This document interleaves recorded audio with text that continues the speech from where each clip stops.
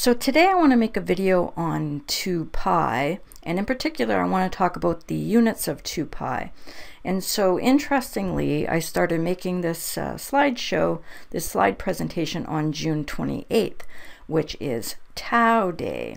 6.28 and so 2 pi is equal to 6.28 plus a bunch of digits because it's an irrational number and so today I want to finish this video and uh, we are going to be talking about 2 pi as it relates to modified unit analysis um, and indirectly the ohm particle model which I depict uh, using the yin-yang symbol. So one of the reasons I'm making this now is I'm reviewing uh, another paper of John Macken called A Single Field Model of the Universe and uh, it is a really great paper. I'm really enjoying reading it and reviewing it. Uh, but there's one um, point of contention between John and I, and it has to do with modified unit analysis. And so in this abstract, he says, you know, the wave acquires particle-like properties because it has quantized angular momentum. And so we will be talking about angular momentum, the units of angular momentum, and what this means, what it means to have quantized angular momentum. And then uh, after I'm done this video, I'm actually going to do a proper rev review of this paper. So this conversation begins with a mathematical statement, let the units of 2 pi be radians per cycle. Okay, so when we let the units of 2 pi be radians per cycle, something interesting happens. And so I want to let the units of 2 pi be radians per cycle.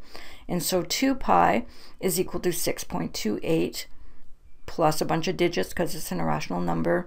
And I want the units of 2 pi to be explicitly written in the unit section of an equation as radians per cycle or uh, like this because this is uh, looks much nicer. And so uh, in modified unit analysis, I write rad per cycle in the triangle symbol, uh, use the triangle symbol for uh, cycle. And so uh, I want to show you what happens when we let the units of 2 pi be radians per cycle. So first of all, I want to review what it means to be a radian. So one radian is equal to the angle such that the arc length of a circle of the outer uh, perimeter of the circle, circumference of the circle, is equal to the radius of the circle. So the radian is an arbitrary angle uh, which happens to where the arc length of the circle happens to equal the radius of the circle. And so this is uh, the meaning behind the radian. The radian is an angle and the arc length is a distance. You will also notice that the angle when converted to degrees is uh, 57.296 degrees. So there are 57.296 degrees uh, in one radian. And so the 6.28, uh, 6.28 means that there are 6.28 of these in one, cir one circle, in one cycle. And so uh, this value here is, when you convert to degrees, of course, is, uh, is not a whole number. So there is not a whole number of uh, radians in one circle. There are 6.28 radians in one uh, circle, in one cycle. So the next thing I want to do is a similar treatment. Uh, instead of using radians, I want to switch to degrees. And so uh, here I say let the units of the value 360 be degrees per cycle. And so we know for sure that there are 360 degrees per cycle, per circle. And so uh, we could just as easily say let the units of 360 be degrees per cycle. If we're in the domain of degrees, then um, the units in the unit section should uh, contain degrees per cycle. So we should be writing 360, and in the units we write degrees uh, per cycle. Similarly, if we are in the gradients, if we're using the gradient system of measuring angles instead of radians or instead of degrees, we would say um, that there are 400 gradients per cycle and um, the uh, circle, the unit circle would be divided into 400 gradients. and so uh, if we saw the um, the value 400 in an equation, that would mean that uh, we're in the domain of the gradient and we would have to rate gradients per cycle in the unit section of the equation. So the point I'm trying to make here is that um, radians, which is uh, the value of 2 pi is 6.28, so there are 6.28 radians in one cycle. Um, alternatively, there are 360 degrees in one cycle, and there are 400 gradians in one cycle. And so uh, radians, the choosing radians as our unit of measuring angles is, um, is arbitrary. It's convenient, but it's also arbitrary because uh, 360 degrees is also convenient because that's what I was taught was there are 360 degrees and when I pull out my protractor it is usually in degrees and I'm measuring degrees when I'm measuring angles using my protractor. But mainstream physicists like to do things in radians. They chose radians, and this is the standard that they chose. Um, the only difference I'm doing here is I am actually writing uh, the radian term into the unit section and the cycle term in the um, unit section. And so 2 pi, which is equal, equal to 6.28. There are 6.28 radians per cycle. These are the units of 2 pi, whether you write them or not. These are the units of 2 pi, and the units of 2 pi are radians per cycle. But in the mainstream language, the um, units of 2 pi are unitless. So when we let the units of 2 pi be unitless, then uh, we must write Planck's energy equation like this. And so what I did was I pulled out the 2 pi from the um, in the equation. I exposed the 2 pi in the equation and I wrote um, energy is equal to reduced Planck's constant times 2 pi times the frequency. And so in the mainstream language, the units of frequency is uh, per second or 1 over s as they normally write it, or sometimes they will write it s to the minus 1. Regardless, um, it is uh, written like this. And um, the units of reduced Planck's constant is uh, joule times second, and I just put the 1 here just because I can. So if you can do this, then you can do this. And plus, this makes the uh, unit section look more balanced. And so when you let the units of 2 pi be unitless, okay, so now 2 pi doesn't have any units. And so uh, the ones cancel, the s's cancel, and you end up with the units of joules as, um, as expected. So although this may look prettier mathematically, it is my opinion that this is uh, the wrong thing to do.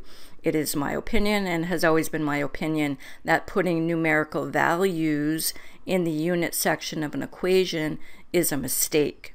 Okay, so uh, what they're doing is they're putting the numerical value of 1 into the unit section of the equation and then using it as a unit or using it as the value of 1 as if it was in the body of equation. Now if I took 1 and put it in the body equation and said 1 times uh, this function, this equation, um, that wouldn't change anything, but putting the numerical value of 1 into the unit section I think is I believe is a mistake because it is uh, it is going to cause some confusion in terms of interpretation of the unit section.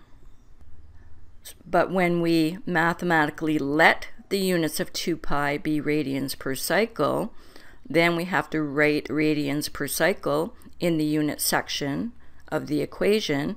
And now you can see that the unit section is no longer balanced. Okay, the ones cancel, the s's cancel, but we still have this, uh, this to deal with. And so when you let the units of 2 pi be radians per cycle, we have no choice but to do this. Okay, So here we have, so the radian goes here and the cycle goes here. And now we have a beautifully balanced um, unit section of the equation. And, um, and also we have all the information in the unit section, including um, a unit for the angle, okay, and a unit for the one complete cycle. So I think it's important to put these terms back into the unit section because it affects the interpretation of the equations. So now what I want to do is I want to find the correct location for this 2 pi parameter.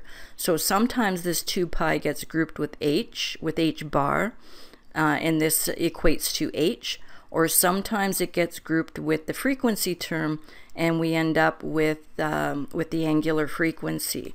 And so I'm going to start by grouping it with the h bar, and of course this ends up being h. Okay, so h times 2 pi, or h bar times 2 pi is h, is Planck's constant. So now we have the equation E equals Planck's constant times frequency. Okay, and so um, then what we want to do is, so here is the unit section where we have this grouped uh, the same as this. And so the radians cancel, the, um, the cycles also cancel. And so the units of Planck's constant, non-reduced Planck's constant, is um, joules times second per cycle. And the units of frequency are cycles per second. So when we let the units of 2 pi be radians per cycle, we have no choice but to do this. We have no choice but to write the units like this. And so this is what I, I refer to as modified unit analysis. I'm modifying unit analysis to, can to um, explicitly write the cycle term and the radian term or the angle term. If we're in degrees, we write degrees. If we're in gradients, we write gradients. And if we're in radians, we write radians. So now I'm going to group the 2 pi with the frequency term. And when you do that, you end up with angular frequency. And so when you reduce the, um, the units in this uh, unit equation, we end up with this. And so the units of reduced Planck's constant is joules times second per radian. And the uh, units of omega, the units of angular frequency, are radians per second. And radian is a measure of an angle, and that's why this is referred to as angular frequency. But this angle, this angle is corresponds to an arc length that just happens to be equal to the radius of the circle. But this is an arbitrary choice for an angle. We could have, if I'm in the domain of the of degrees, then this number gets replaced by 360 and these two um, positions here in the unit section get replaced with degree.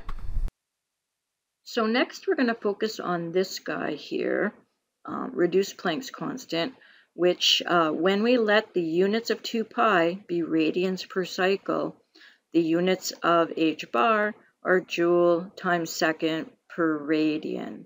Okay, and so um, it is often said that the units of uh, reduced Planck's constant, or that Planck's constant has the units of angular momentum, and so we're going to have a closer look at that. But before we do that, I want to have a closer look at the units of angular momentum that is used in the standard language. And so in the standard language, the unit language, the units of angular momentum are kilogram meters squared per second. Okay, so these are the units of angular momentum.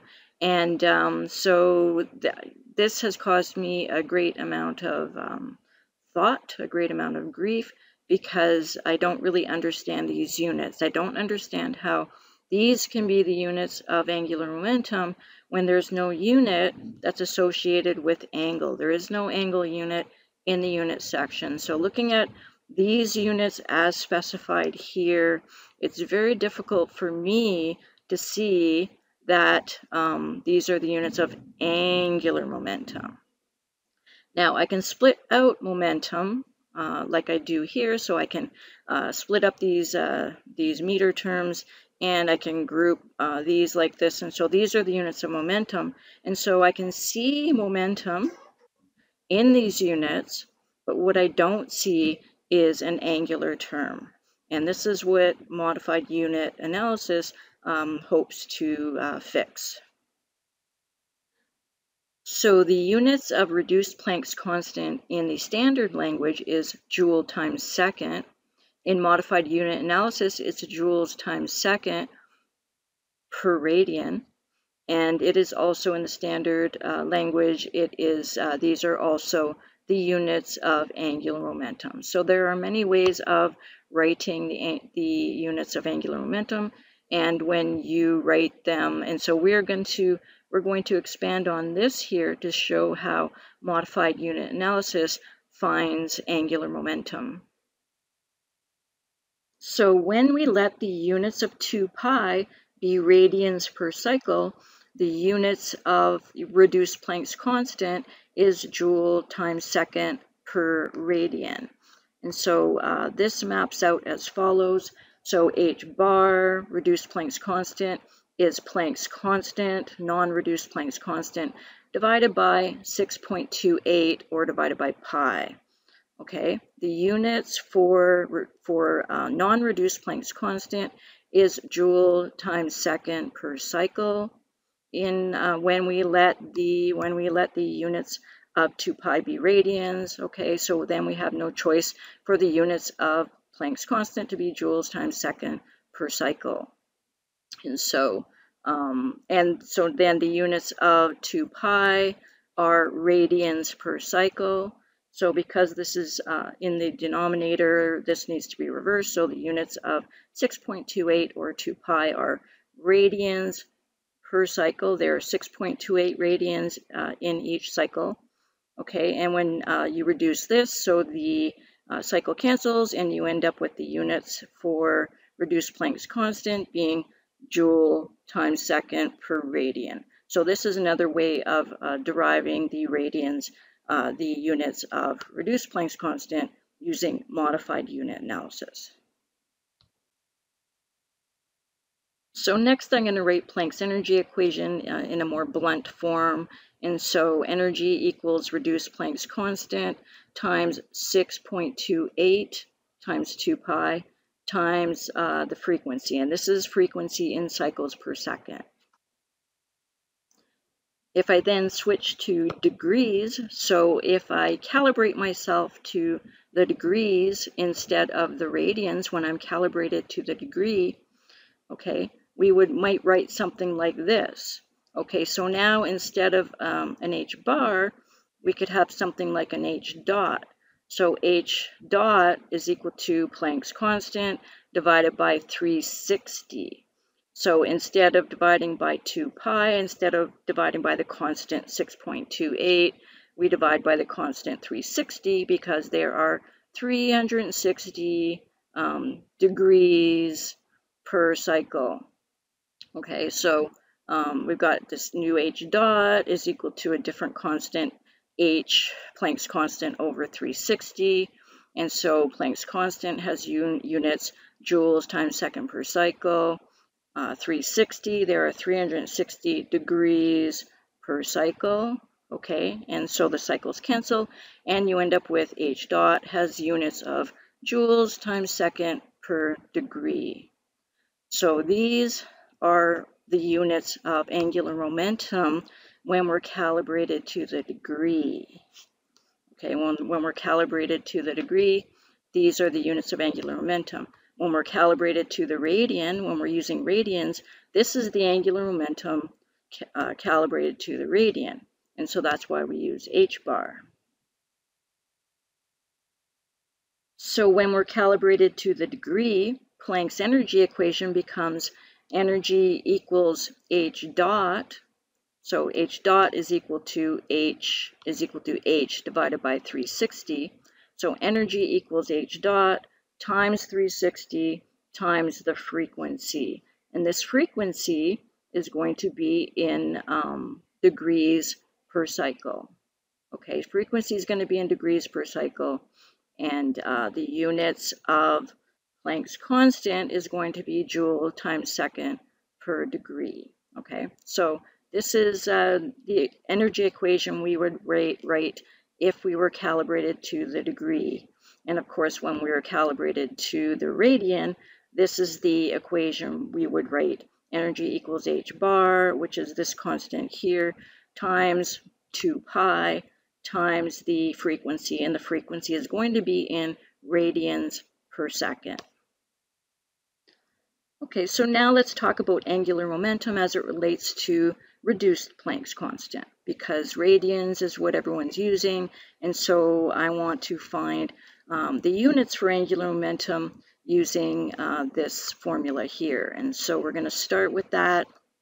We've got um, h bar with units joule times second per radian okay and of course this is when we let the units of 2, 2 pi be radians per cycle. So when we do that, we have to write the units for reduced Planck's constant like this. Okay, and the joule here, so um, this is not, so these are the units of angular momentum, but I don't see momentum in the units, so I want to see momentum in the units. And so I do, um, I, you know, the units of joule are kilogram meters per second. I pull the second per radian over here just so that we can split things up nicely. And then I'm going to further reduce this to show the units of um, the units of momentum, okay, uh, times the units of meters per radian. Okay, so meters per radian is over here. I can now see the units of momentum. So this is called angular momentum. I want to see angle and I want to see momentum in my units. And so I can see momentum here and I can now see angle in the units of angular momentum. And this can only be done using modified unit analysis, i.e. when you let the units of 2 pi be radians per cycle. So these units over here, meter per radian, what does that correspond to? Well, meters per radian are the units of uh, lambda bar. Okay, lambda bar is the reduced wavelength. So these are the units of reduced wavelength.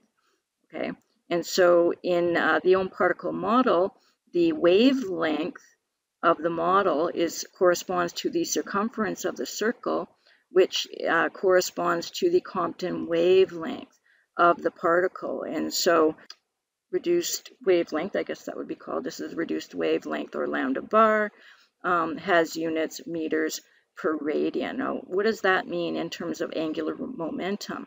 Well, this is the angular momentum of, let's say there's a particle, let's say there's a point on the outer edge of this spinning, obviously this is spinning, and the outer edge, as I talked about in other videos, um, the velocity, the tangential velocity of the system is the speed of light, and when, when you let that happen, the outer circumference is actually the Compton wavelength of the model. And so reduced wavelength is actually reduced, or sorry, uh, angular momentum in the domain of radian uh, is the momentum of a particle that travels a fraction of the cycle. So it is the momentum imparted by only part of the cycle, one radian worth of the cycle. And so um, this is the momentum. So these are the units of angular momentum for a incomplete cycle, for one incomplete cycle. Okay, so this is what most of the physicists are doing. This is the domain they're working in. The uh, they're calibrated to the radian. They're working in the domain of the radian, and so um, their interpretation of quantization, they are not quantized by the radian. They are quantifying by the radian. Okay, so they are quantifying their physics by the radian. It's not quantization, it's quantification. And so I think that's an important way to distinguish what's going on here, okay? Quantization is something else. Quantization is, to me, quantization would be one cycle. So this system here is quantized by one cycle because when it makes one exact cycle, it comes back to where it was before. And so I believe nature is quantized by the cycle, and that makes sense. It makes logical sense that the universe would be quantized by the cycle. And if everyone said the universe is quantized by the cycle, no one would disagree. It would just be uh, kind of self-evident. So now we're going to do the same thing with h, with the non-reduced Planck's constant. So uh, when you let when you let the units of 2 pi be radians per cycle, you have no choice. The units of Planck's constant are joules times second per cycle. Okay, and so we're going to do the same treatment with this. So here are the units of uh, non-reduced Planck's constant. I'm going to split out the uh, the, the units for joule. Okay, and I'm going to group the uh, S term with the with the cycle term, and so you can see uh, this nice clean. Uh, the, the units here expand out to the units here, and then I'm going to cancel the seconds here. So one, this is going to cancel with one of these, and now I'm going to write the units in terms of momentum and um, an angle, which happens to be 360 degrees or 2 pi radians uh, around the circle. So this uh, is the symbol for one complete cycle. And I think this needs to be here. So uh, these are the units in modified unit analysis. Meters per cycle are the units of wavelength and they are also the units for the circumference of a circle when an object is spinning. So this is only valid when an object is spinning. When we have vortices, when we have things that are spinning, then uh, this wavelength uh, is analogous to the to the um, circumference of a circle. So the Compton wavelength of this particle here, which could be an electron, is the Compton wavelength of the electron. So in the standard language, both Planck's constant and reduced Planck's constant have the units of angular momentum. And so in the standard language, these uh, differences, so h and h bar have the units of angular momentum, but they are not distinguished in any way. So h has units j times s, and h bar has units j times s in the standard language. And so in modified unit analysis, when you let when you let the units of 2 pi be radians per cycle, then, um, then these terms can get be included into the unit analysis and, and make more sense. Okay, so this is what I'm trying to do. So for, I'm going to do something kind of crazy for the sake of argument. Okay, so now we're going to take the h dot that I calculated before, and of course h dot is calculated using h over 360, and there are 360 degrees per cycle. And so these are the units of angular momentum when you're calibrated to the degree, when your calculator is in degree mode, these are the units of h dot, which is the h bar of the domain of, um, of degrees. So when we're calibrated to the degree, and I think that's an important way of looking at it, because we can either, if we're using degrees, we're calibrated to degrees, and if we're using seconds, we're calibrated to the second. And so when we're calibrated to the degree, this is the, these are the units of angular momentum. So these all correspond to angular momentum. Okay, so h bar is angular momentum, h is angular momentum, and the one I made up, h dot, is also the angular momentum. So which one is nature doing? Okay, which one is nature doing? Because I want to get to the root of what nature is doing, and so I want to be calibrated to the system that nature is, is doing.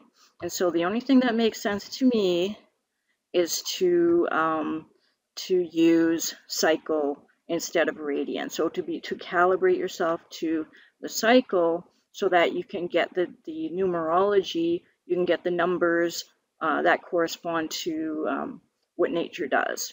And so if you are always using the system that nature is using, then you're not going to get confused. You're not going to, if you're, because sometimes we switch, sometimes we use H, sometimes we use, we use H bar, okay? And so I think it's important maybe to pick one and stick with it and see how far you get. And that's what I've been doing. I've been trying to stick with one with the uh, circumference of the circle with the complete wavelength, not the H bar, because in wave mechanics, well, let me find the h bar. In wave mechanics, h bar is a fraction of a wave. It is not the complete wave.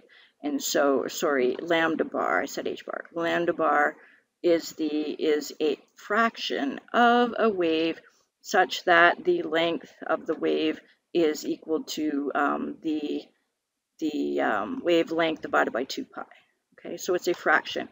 It is a fraction of the wave and not the full complete uh, cycle of the wave.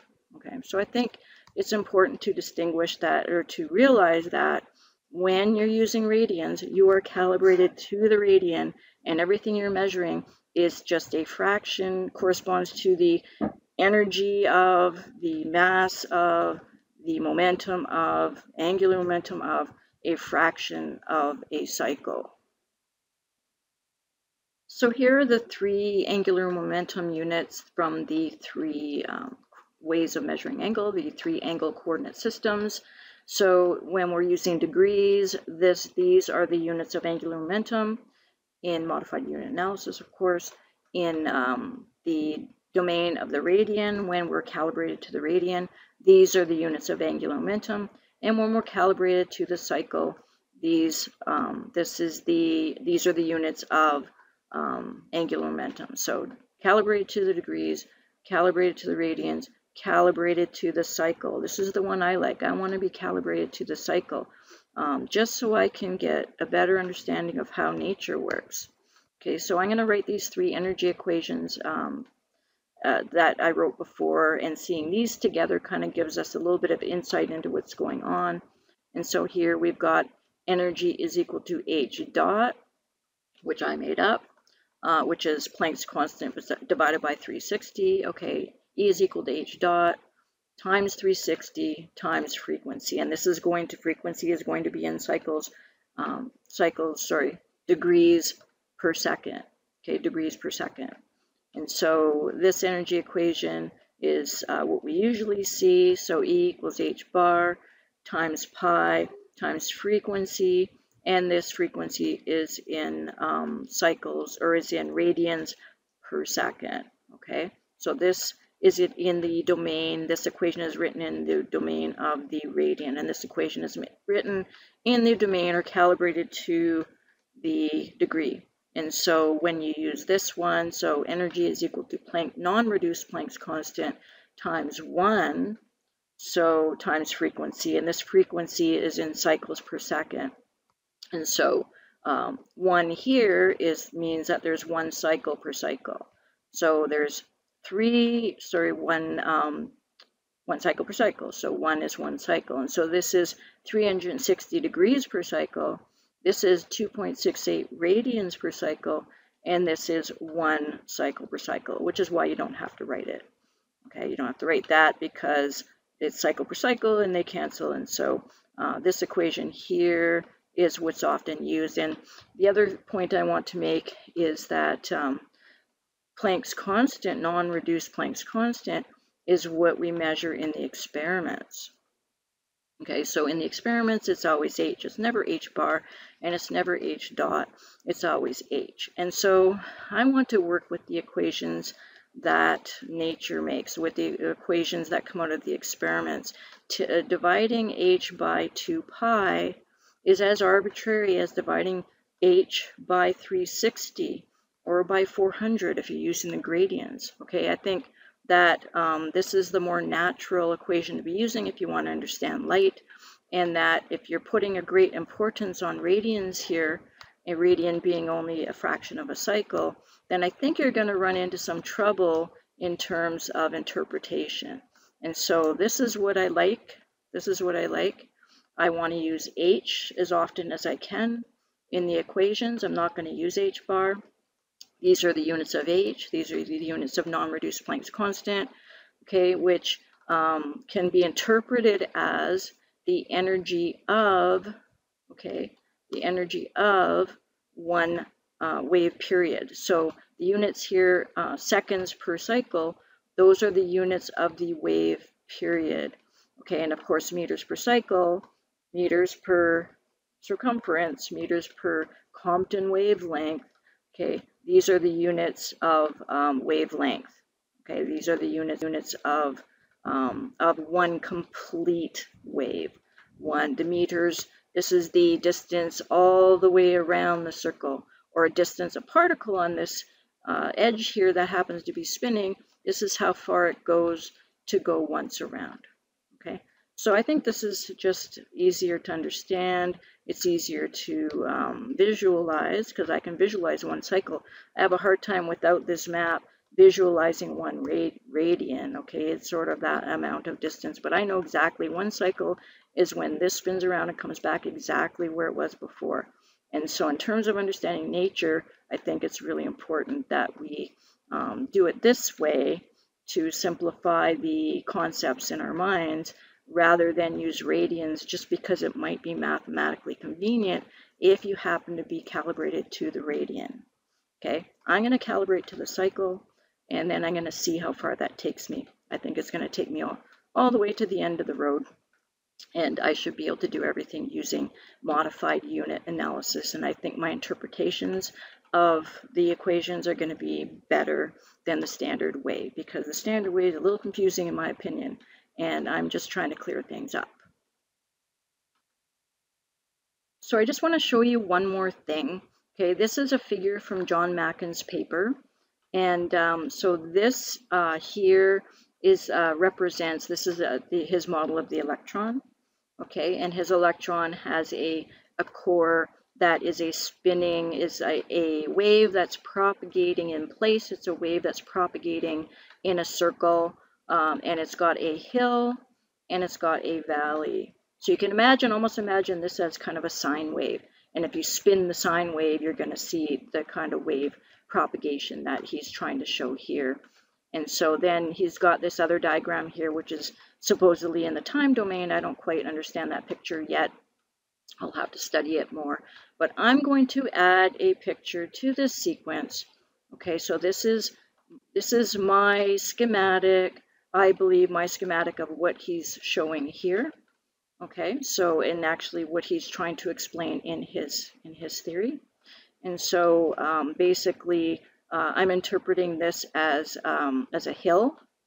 Okay, it goes from you know dark is low and light is high. So this is a hill and this is a valley. So this is a hill and this is a valley. So this schematically corresponds to this model here, although this model here doesn't really depict rotation. So he had to create this other diagram that kind of depicts that these are rotating. But in my model, the rotation is built into the schematic. You can see that this is um, rotating, that the hill and the valley are rotating about a common central point. And in the own particle model, so this is my own particle model, the circumference of this circle, i.e the distance that a, let's say a particle, an ether particle on the outer edge here, the distance it travels is going to be the Compton wavelength of the particle. So if this is an electron, this distance is going to be the, um, this, the wavelength, the Compton wavelength of the particle. And so this is where my theory and John's theory meet.